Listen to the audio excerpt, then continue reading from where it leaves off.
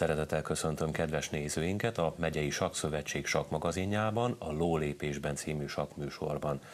Mint látható, Varga Péter nagymester állandó beszélgetőtársal most le lett cserélve, talomba lett rakva. Egy szép hölgyet, kedves hölgyet hívtam vendégként a mai napra, személyesen Szoboszlai Lászlóné tanárnő, aki 38 éves áldozatos pedagógusi munkája, sakkoktató munkája alkalmából a tegnapi napon egy gyönyörű kitüntetést kapott szeretném bemutatni Szoboszlai tanárnőt, aki a Móra Ferenc általános iskolának a tanára, és a sak szakkörnek, az ottani sakkéletnek a vezetője. Judit, először is gratulálok ehhez a kitüntetéshez. Kérlek, mondd el mi nekünk, hogy milyen alkalomból kaptad, és tudom, hogy szerénytelenségnek had, de próbáld meg elmondani, hogy mivel is érdemelted ki ezt az igen szép és rangos kitüntetést. Jó napot kívánok a kedves nézőknek!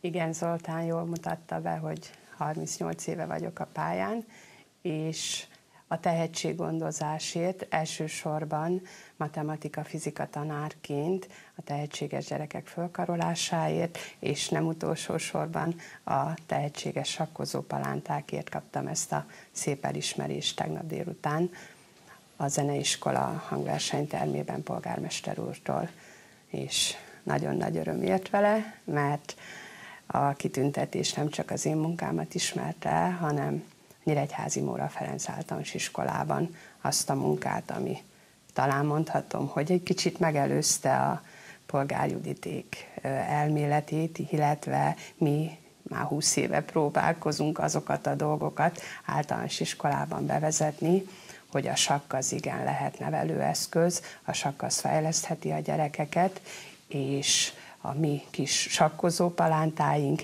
biztosan gazdagabbak és eredményesebbek az életben, mert mindazt megtanulják, ami szükséges az élethez, játszani elsősorban gyerekmódon, aztán küzdeni, aztán időt beosztani, és ilyen komoly dolgokat is, hogy kreatívan gondolkodni, és mindent, amit a sakhoz. Nagyon régen kezdtük el, a címszavak körül a 20. évforduló az nagyon jól hangzik, egyfolytában 20 saktábort szerveztünk, a levédett projektünk címe az az volt, hogy országjáró saktábor, és ez azt jelentette, hogy megpróbáltunk majdnem minden évben új helyszínre menni, úgyhogy Létavértestől Tiszadobon át egészen az ország másik végéig, Nagykanizsáig, Szeged, Csongrád, Balaton, Visegrád, bebarangoltuk az országot, egyhetes táborba vittük a kis sakkozó gyerekeinket, délelőtt sakkozni tanítottuk őket, délután pedig egy nagyon klassz nyári tábor volt, mindenütt ötvözve valamivel, létavértesen mondjuk lovaglással, Visegrádon hajókirándulással, és sok-sok olyan élménnyel, ami a gyerekeknek nagyon sok szépet és jót jelentett, amellett, hogy azért a saktudásuk is szépen fejlődött.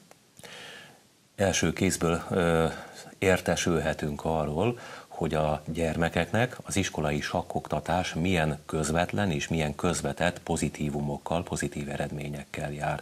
Judit, mint tanár és mint sakkoktató szeretnélek megkérdezni, mi a több évtizedes tapasztalatod?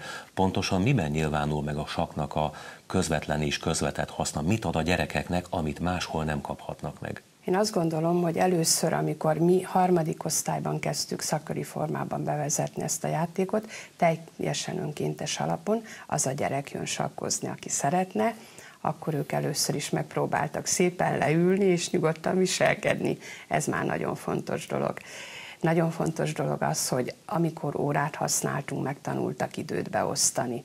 Nagyon fontos dolog az, hogy rájöttek arra, hogy lehet úgy is kikapni, hogy nem bunyó érte az arcunkat, vagy bokáruktak bennünket, hanem tanulnak? csak úgy így bizony önfegyelmet tanultak, küzdeni tanultak. Nagyon sokszor van a kisgyerekekkel olyan probléma, hogy én magam úgy gondolom, hogy még ő nem érett meg arra, hogy egy-egy versenyre elmenjen, mert elsírja magát, túlérzékeny, egy kicsikét fáj neki a vereség, de ahogy az előbb már mondtam, az életben ezek a dolgok ugyanígy jönnek elő, és ez a játék megtanítja, előkészítő őket azokra, hogy a kudarcot is és a jó eredményt szépen méltósággal tudják elviselni. Én azt hiszem, hogy amikor a Nyíregyházi Móra Ferenc általános iskola sakcsapata megjelent valahol, voltak ott olyan nevek, amelyeket a többi sakkozó kellő tisztelettel, esetleg úgy mondom, félve említett, hogy megjött ő is, megjött ő is, megjött ő is. Judit, neked két nagyszerű sakkozó lányod volt, akik fiatalon sikert sikerre halmoztak, mellettük voltak még más sakkozók is. Azt szeretném megtudni, hogy ezekből a sakkozó gyerekekből mi lett az életben? Hová vitték? Meddig igen, vitték? Igen. Köszönöm a kérdést, hogy beszélhetek róluk. Mindenkit összeszámolni nem tudtam, de azok a gyerekek, akik megyei csapatbajnokságban szerepeltek, aztán a Diák Olimpia versenysorozatában városi, megyei bajnokok és országos döntőig jutottak, azok a gyerekek kivétel nélkül mind diplomát szereztek. Vannak nekünk már pszichológus tanítványaink, a fiúk közül nagyon sokan informatika és mérnöki pályát választottak és például név szerint is emlegethetem, hogy orvostan hallgatunk van, a legutóbbi tanítványunk közül Barbara Bodnár Barbara nevét hagy említsem. Őt ismerik is a nézőnk, egy Igen. pár évvel ezelőtt ő volt a, a segédünk, Segítő, aki a figurákat állította a táblán.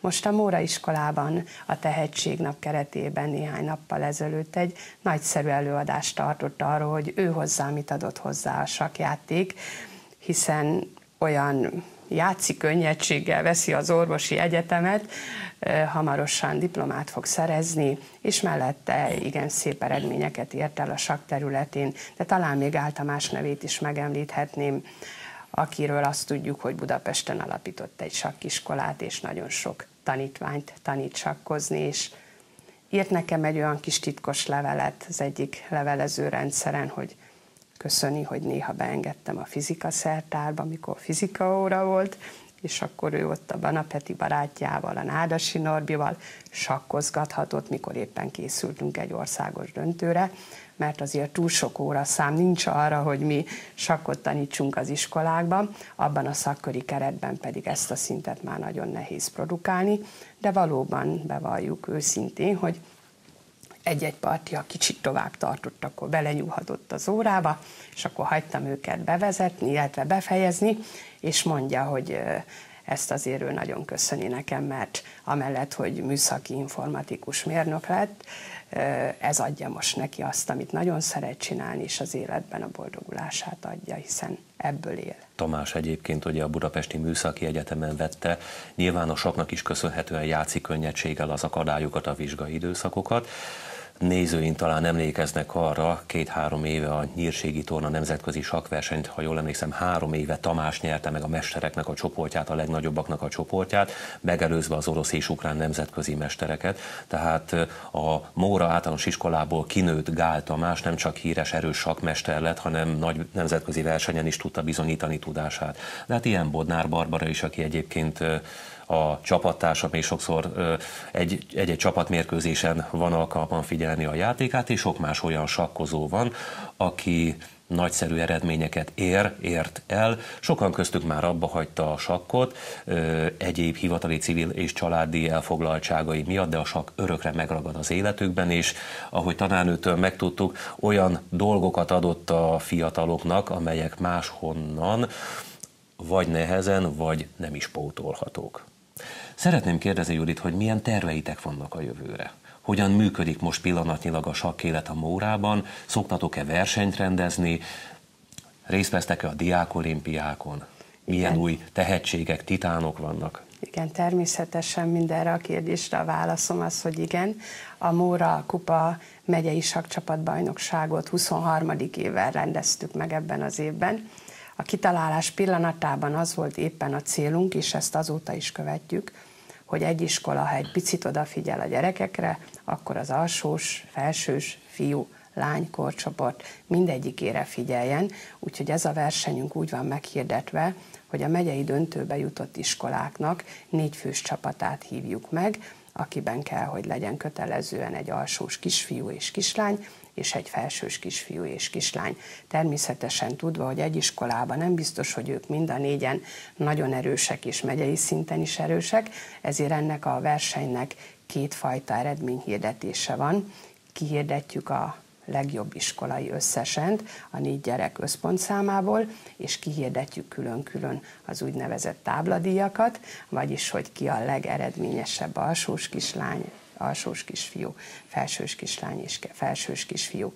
Ezekben a versenyekben mind az elmúlt 20 vagy két évtizedben megyei döntő, akár egyéni, akár csapatversenyében szereplő iskolákat hívtuk meg. Van néhány iskola, talán meg is kellene említenem név szerint őket, az Apácai Gyakorlóiskola, a Nagyhalászi iskola, ki ne felejtsek, olyan font a Petőfi általános iskola, amelyek az elmúlt évek mindegyikében ott voltak nálunk, és mindegyikében szépen szerepeltek és vannak minden évben feltörekvő új iskolák, akik eddig úgy a városi és a megyei címlapon még nem szerepeltek, és ebben az évben is, és tavalyi évben is voltak ilyenek. A turistváni csapata az azért különleges, mert a kezdet-kezdetén ők jártak nálunk sok éven keresztül, aztán volt egy kis szünet, és most újra visszajöttek hozzánk. A sakkélet azt hiszem akkor pesgő a Mórában, és a Móra városunk, illetve megyénk egyik olyan iskolája, amelyik nem csak iskolai oktatásban ad sokat a gyerekeknek, hanem egyéb téren szabadidős és olyan tevékenység terén, ami segít az életre való felkészülésben. Én azt hiszem, hogy ilyen a sak, és kívánom azt, Judit, hogy bővüljenek a sikerek, rendkívüli tehetségű Barbara, Gáltomi, Nádasi Norbi is nem is tudom folytatni tovább, annyi ügyes gyerek volt ott. Őket elérő vagy őket meghaladó tehetségű gyerekekkel találkozzatok és készítsétek fel őket az életre, úgyhogy a sakkal és a sakk által boldogabb és eredményesebb és szebb életük legyen. Köszönjük szépen. Én talán mondhatom, hogy utódaimnak is át fogom ezt adni, mert nagy örömömre lesznek a Móra iskolába követői ennek a játéknak nevelői testület szintjén. Az egész eredményességhez ki kell hangsúlyozom, hogy mindenféle versenyünkben egy 6-8 fős kis stáb volt jelen, hiszen egy sakverseny lebonyolításánál és szervezésénél vannak azért gondok, amiket meg kell oldani, és közülük most két kolléganő is e, igyekszik majd átvenni az én munkámat. E, az egyik őjük el is végezte a polgárféle tanfolyamot, és első osztályban már megteszi a kezdő lépéseket. Én még még vagyok, mert még azért én nem megyek nyugdíjba, e, nagyon nagy akarattal fogom őket segíteni, hogy legalább ilyen szépek legyenek jövőben is az eredmények, és köszönöm szépen a jó kívánságokat. Igazán megnyugtató, hogy biztosítva van a tanári karban is az utánpótlás, azaz téged nem csak létszámban, hanem remélhetőleg még minőségben is megkísérelnek pótolni, helyettesíteni, illetve veled kiegészülve még fényesebb sikerek elé állhat a Móra, hiszen nem csupán a gyerekeken, hanem a felkészítő oktató nevelő gárdán is múlik, ők is igazán nélkülözhetetlenek a siker eléréséhez, és ha ez biztosítva van, akkor küszöbön állnak a még szebb sikerek. Köszönöm szépen, hogy Én is köszönöm szépen. És most, hogy Szoboszlai tanárnő elment tovább folytatni oktatói és sakkoktatói munkáját, visszaérkezett a stúdióba Varga Péter nagymester állandó beszélgető társunk. Szoboszlai tanárnő beszámolt arról, hogy milyen a sakkélet a Nyíregyházi Móra Ferenc általános iskolában. El kell, hogy mondjuk azonban legutóbbi adásunk óta egy másik Nyíregyházi iskolában is óriási jelentőségű sakkesemény történt. Polgár Judit sakreferencia iskola lett a Nyíregyházi Kazinci Ferenc általános iskola. Péter, te ott voltál a megnyitón, a beiktatási ünnepségen. Kérlek, beszélj róla, milyen volt. Fantasztikus műsor volt, a polgármester úr is kedves köszöntő szavakat intézett az iskolához. Ugye a legnagyobb szám polgár Judit volt, aki, aki megtisztelte jelenlétével Kazinci ez azt hiszem, ez egy óriási esemény, mert Judit megjelenésére talán egy másfél évvel előre kell bejelentkezni és kérni őt. Igen. Én azt hiszem, ez egy óriási dolog, hogy polgár Judit megjelent Nyíregyházán. Ez, ahogy mondtad, ez, ez egyértelmű, ez egy fél év, egy évre előre kell, és, és nem tud ugye mindenhova elmenni Judit. Itt szerencsénk volt, mert uh, ugye épp uh, Hajdúböszörményben tartott egy előadás Judit, és akkor már össze tudta egyeztetni a programjával, hogy, hogy el tudott jönni erre megnyitóra. Gyönyörű előadás, fantasztikus profil megcsinálva, nagyon sok gyerekkel. Nagyon tetszett Juditnak is, és, és azt mondta, hogy ezt így tovább. Tehát mindenképp nagyon nagy dolog, hogy, hogy Nyíregyházán az első iskola, ugye az a Kazinci Ferenc általános iskola, ahol ugye referencia iskola lett ugye a polgárféle módszer, tehát ugye a sakpalota program, ahol beindult ugye először, és remélhetőleg ez a gyerekeknek lesz még, még nagyobb lehetőség, és még jobban tudják az élményüket tovább fejleszteni.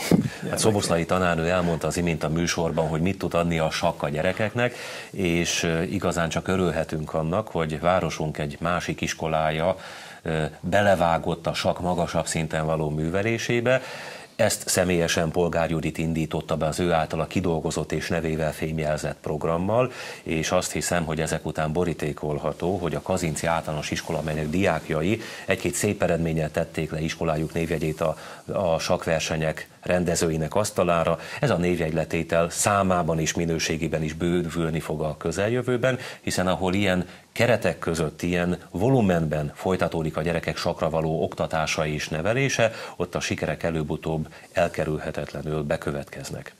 Megyénknek van egy másik iskolája, amelyik szintén a polgárjudit sakpalota sakoktatási rendszerének referencia iskolája. Ez a nagyhalászi Csuha Antal Baptista általános iskola, ahol május 16-án egy országos rendezvényt tartottak, a harmadik országos baptista saknapokat, ahol természetesen nem csupán baptisták, hanem az ország minden tájáról megjelenő sakkiskolák és sakkegyesületek és diákok versenyeztek különféle korcsoportokban. Péter, te voltál ott a főbíró. Tarts nekünk kérlek egy élménybeszámolót, hogy láttad főbírói szemmel, rendezői szemmel a versenyt? Egy nagyon jól szervezett, profin szervezett verseny volt, immár harmadik évben rendezték meg, ugye Nagyhalázban ezt a baptista kupát, egyre bővülő létszám, tehát már több mint 150 gyerek indult ezen a rendezvényen. Ugye itt azt kell tudni, hogy külön díjazásban részesülnek a baptista iskolába járó gyerekek, és külön díjazásban, akik nem ugye ezeknek az iskoláknak a tanulói. Fantasztikusan sok kupát, érmet osztottak ki ezen a versenyen. Nagyon-nagyon jól volt minden megszervez az egész iskolából, szinte minden, mindenki segítette, egymást, a gyerekeket, a rendezvényt, hogy jól sikerüljön. Tehát én csak, én csak azt tudom mondani, hogy, hogy ide mindig jó szívvel jövök versenybíráskodni, főbíráskodni, és, és ugye a gyerekek, akikről az egész verseny szól, ugye egyre többen vannak, ugye, ami azt jelzi, hogy akik már voltak, azok egyértelműen visszajárnak erre a versenyre, és az újak nő ugye a létszám is, és remélhetőleg ugye jövő évben már akár nemzetközi is válhat ez a rendezvény. Magam is tanúsíthatom Péter szavainak igazságát, én is ott voltam ezen a versenyen, és tapasztaltam, hogy a rendezés körülményei, a szervezésnek a módja és módszere szuperlatívuszokkal illethető. Egy sakkozó szívének igazán gyönyörűség, amikor az iskola udvarán sakkos zászlók lobognak, a világos és sötét figurákat tartalmazó zászlókat lenget a szél.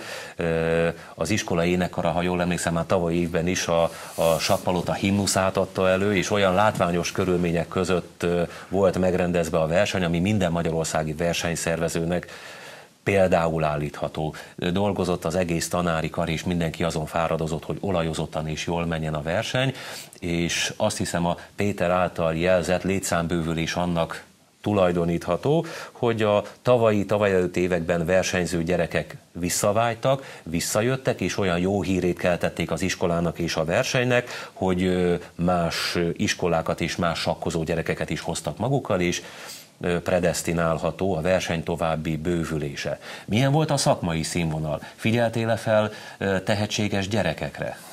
Hát ugye már tavaly évben is egyre több játékos, kiemelkedő játékos indult ezen a versenyen. Én azt mondom, hogy ugye a saknak köszönhetően, ami nagy halászba beindult jó pár éve, ugye a sakkpalota módszer, meg az az előtti több évtizedes sakkozói múlt. Hegedűs tanár úr munkája, igen. igen. Tehát annak köszönhetően egyre ügyesebb és egyre jobb játékosok vannak, ugye egyre jobban megoldotta a minőségi oktatás is Nagyhalászban, ugye ez neked is köszönhető egyben, és, és ugye nagyon sok, nagyon sok érmet nyertek ugye a Nagyhalászi iskola növendékei. Én mindenképp úgy gondolom, hogy, hogy ugye az országos szinthez képest elindult egy folyamat, az a nagyon-nagyon hosszú folyamat, hogy utolérjük azt, de valahol el kellett kezdeni, és reményeink szerint ugye ez a verseny is segít abban, hogy lássák azt, hogy milyen szintre lehet jutni, hova lehet eljutni a sakkal, és konkrétan ugye most itt a verseny is egy-két országos bajnok, aki, aki a korcsoportjában